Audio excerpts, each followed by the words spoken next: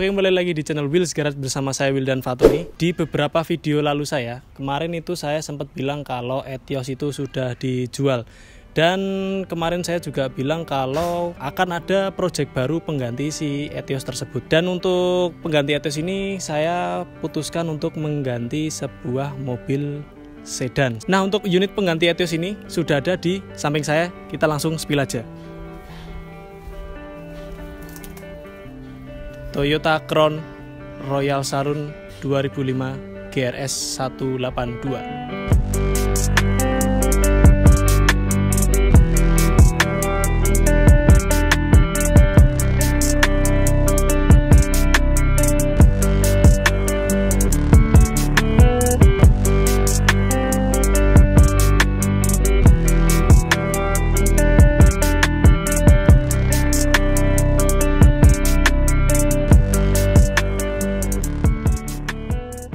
Nah oke, okay. jadi si Etios itu sudah laku dari bulan November tahun lalu. Dan kemarin itu saya sangat sulit dan sangat bingung untuk memutuskan pengganti dari si Etios. Karena si Etios itu terjualnya nggak terlalu tinggi harganya. Jadi memang kita harus bisa pilih-pilih unit penggantinya. Berarti dari November, Desember, Januari, Februari, Maret. Jadi saya membutuhkan waktu 4 bulan untuk hunting pengganti si Etios. Alhamdulillah di samping saya ini sudah sudah ada pengganti dari si Etios Falco saya yaitu Toyota Crown Royal Saloon 2005 dengan kode bodi GRS 182 ini mobil Toyota Crown yang versi ATPM karena setahu saya Crown ini dia di Indonesia itu ada dua jenis yaitu yang CBU sama yang ATPM kalau yang CBU itu dia ada sunroofnya dan untuk logo grillnya dia logo Crown. Nah kalau yang ini dia logo grillnya masih logo Toyota seperti itu. Nah oke okay, untuk mobilnya sendiri saya mendapatkan harga yang lumayan best deal. Sebenarnya sesuai sih dengan kondisinya karena memang waktu saya ngambil mobil ini posisinya itu sudah satu tahun tidak jalan seperti itu. Jadi ini body penuh dengan jamur dan kusam lah. Ini kaca juga berjamur. Jadi memang ya harganya worth it dengan kondisinya. Tapi tenang aja ini besok saya akan videokan proses dari buluk menjadi glowing di channel saya di Wheels Garage ini. Nah oke kita akan langsung bahas satu persatu dari detail mobil project project kali ini dan saya akan memberikan sedikit spill untuk beberapa nanti progres untuk ke depannya seperti itu. Yowis, kita langsung mulai dari eksteriornya dulu ya yang kelihatan.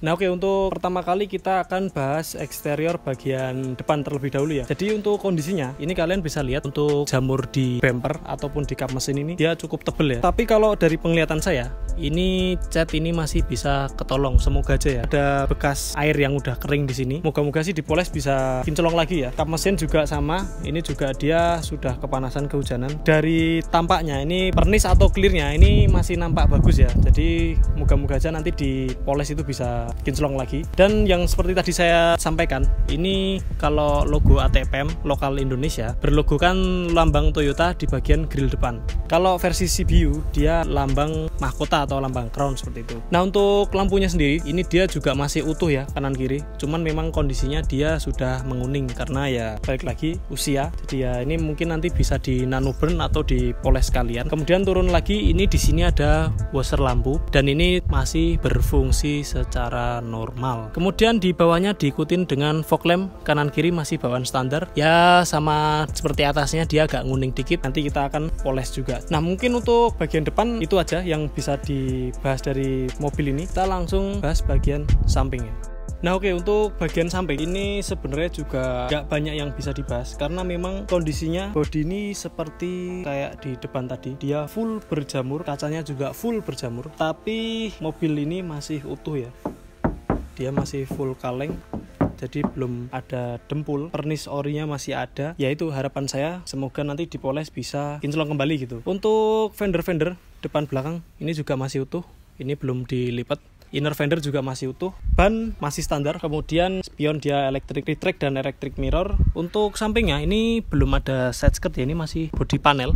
Ini mungkin besok project selanjutnya kita akan tambahkan side skirt terus kemudian kita mundur lagi ke belakang. Di sini masih ada logo crown atau logo mahkota yang masih utuh. Dia tidak retak dia tidak burem. Jadi ini masih bagus seperti itu kemudian di bagian fender belakang ini ini juga masih belum dilipat bagian pelipitnya ini. Dan uniknya bagian inner fendernya ini dia kayak karpet bahan jadi untuk peredaman kabinnya itu lumayan bagus ya. Jadi kalau misal ada cipratan air atau cipratan batu atau suara jalan dia akan meredam di bagian inner fendernya ini. Paling ya itu sih yang bisa dibahas di bagian samping. Kita langsung bahas bagian belakangnya Nah untuk bagian belakang lumayan masih min condition ya. Cuman ya memang ada beberapa sedikit lecet pemakaian. Yang saya maksud min condition karena ini dari nut-nut body Ini masih utuh semua.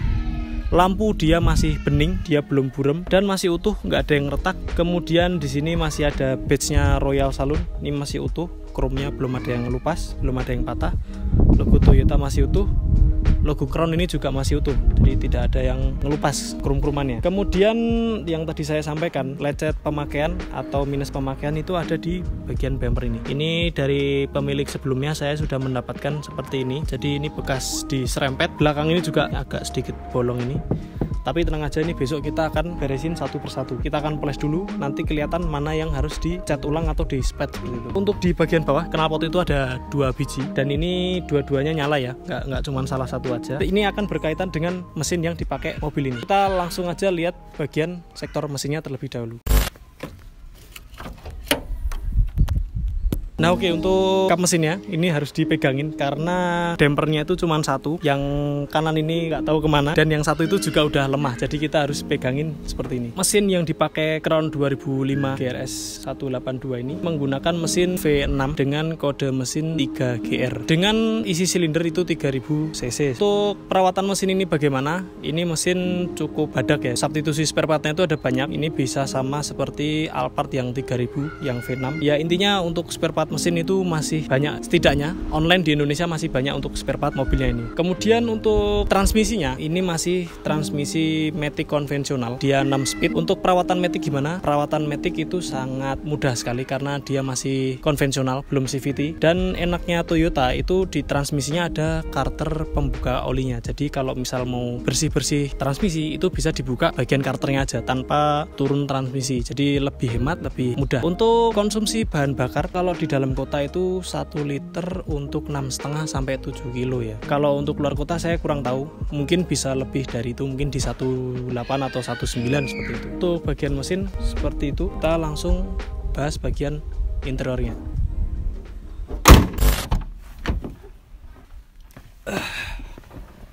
Nah oke okay, untuk bagian interior di tahun 2024 ini interiornya masih kelihatan sangat modern seperti itu. Panel-panelnya ini kebanyakan masih utuh semua ya. Electric seat dia masih nyala, kemudian electric steer masih nyala, audio tape dan AC-AC ini semua masih jalan normal. Nah yang uniknya kalau misal kita colokin kunci, dia bisa nyesuaiin sama posisi mengendara kita. Nah ini setelah kunci dicabut dia balik seperti settingan kalau kita mau keluar. Kemudian di sini sudah ada cruise control, transmisi, matic masih normal juga. Nah untuk depan mungkin gitu aja. Kita langsung coba bagian duduk di belakang. Nah oke, okay. mobil Crown ini kelebihannya itu ada di jok bagian belakang ya. Yaitu di sini ada penghangat kursi, kemudian ini ada reclining kursi juga. Kemudian di belakang itu ada kray otomatis, kemudian ini ada volume. Kita bisa nyeting volume dari sini, bisa ngatur AC juga dari belakang. Nah untuk kisi-kisi AC itu ada di atas ini, sama ada di bawah. Ciri khas Crown dari dulu yang tetap dilestarikan itu adalah pegangan yang ada di sini. Di sini ada kraynya juga, cuman dia masih manual ya cuman oke okay lah buat jaga privasi. Di sini ada asbak di sini power window full auto semua. Kemudian di belakang ini ada cool boxnya juga. Di sini juga ada pengaturan jok penumpang depan. Kalau semisal owner mobil ini pengen suasana yang lebih luas ya wis paling untuk interior kurang lebih itu aja sih yang bisa dibahas karena memang mostly masih standar dan semua elektriknya ini masih berjalan normal. Nah untuk ke depannya progres mobil ini masih panjang karena untuk step-step yang akan saya lalui yang pertama saya akan poles full body. Kita pengen lihat dulu bagian yang sekiranya kusem nggak bisa dipoles itu kita akan spet satu persatu. Kemudian jika untuk body udah beres kita akan sedikit merawat mobil ini penggantian oli mesin, oli transmisi, itu kita akan bongkar juga transmisinya, bagian karternya kita akan bersihin semua biar lebih halus lagi transmisinya. Kemudian setelah moving parts itu sudah diganti, kita langsung custom atau kita langsung pasang bagian kaki-kakinya.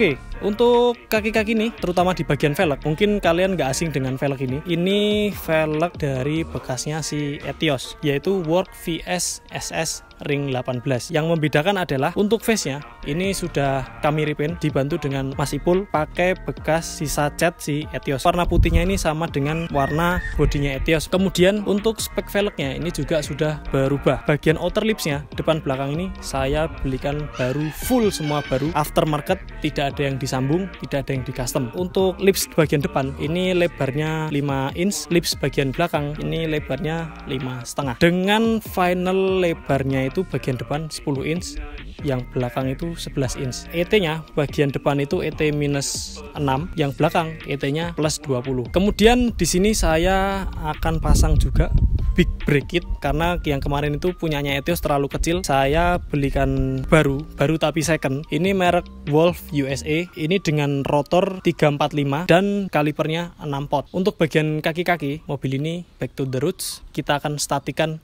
mobil Crown 2005 ini. Rencana ke depan ya untuk shock nanti akan kami custom dengan yang mirip-mirip seperti bawaannya dan kita akan pasangin coilover custom dan untuk kaki-kaki, terutama bagian belakang itu besok kita akan full bikin bagian control arm, two in two out dan casternya. Kalau bagian depan kita akan custom bagian upper armnya biar bisa disetting dan kita akan potong knuckle biar bisa ambles sampai nempel tanah. Paling rencana ke depan ya kurang lebih seperti itu. Kalian bisa tonton progres satu demi satu si crown ini di channel Wheels Garage. Dan ini project akan panjang karena memang saya memodif mobil ini dengan perlahan sesuai dengan budget saya. Ini bakal menyenangkan sih bakal seru untuk project ini.